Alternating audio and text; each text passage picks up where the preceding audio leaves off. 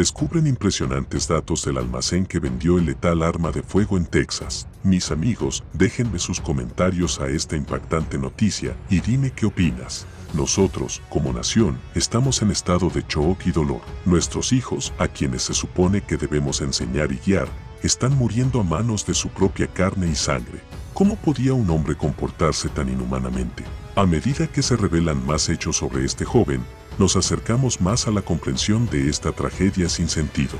Con el arma de fuego recuperado de la escena del crimen, se pudo localizar la tienda donde fue comprada, la cual esta armería está ubicada en Ovaldi, Texas. El almacén en donde el delincuente del caos de la escuela de Texas adquirió el arma amigos está involucrada en varios casos de bandas de estupefacientes. Se están revelando más datos sobre el asesino escolar de Texas que ocasionó el deceso a 19 jovencitos y dos maestros hace una semana. El joven Salvador Ramos compró el arma de fuego AR-15 en una tienda de armas, Oasis Outback LLC, en la ciudad de Uvalde, Texas.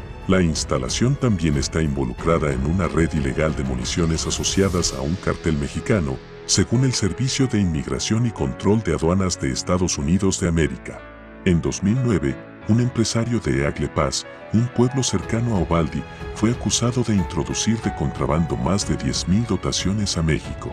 El empresario Farid Farhet propietario de Farad's Boots and Jeans, pagó casi 6.000 en efectivo por más de 10.000 dotaciones realizadas en tres transacciones separadas en el periodo de tres horas desde Oasis Outback en 2009, según las autoridades. Es muy importante y está cerca de la frontera, así que sabes hacia dónde se dirige, dijo Davi Aguilera, un agente especial jubilado de la Oficina de Alcohol, Tabaco y Armas de Fuego. Por supuesto, venderlos, transferirlos o usarlos depende del delincuente. Oasis Outback no ha infringido la ley al vender este tipo de dotaciones, ya que no es necesario que las tiendas rastreen o informen las compras de estas dotaciones. ¿Y tú, qué opinas? Por favor, déjamelo saber en los comentarios, y que Dios bendiga a los Estados Unidos de América.